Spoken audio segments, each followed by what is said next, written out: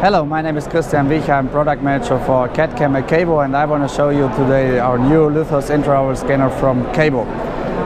You can see the product already over here. It's our new intraoral scanner with a very small handpiece. It's a powder-free scanner.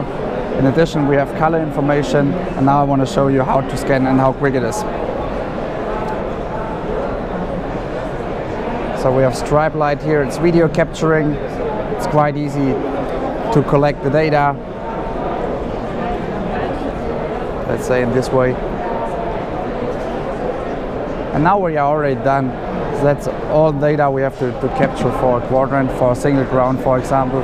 And then after doing the scanning, we are ready to send the data out to KaVo to our remote design service where our certified dental technicians are doing the crowns or even also abutments in less than 15 minutes. And then they will send it back to you to your computer. You can mill it, you can cement the crown and your perfect restoration or your in-house restoration is done.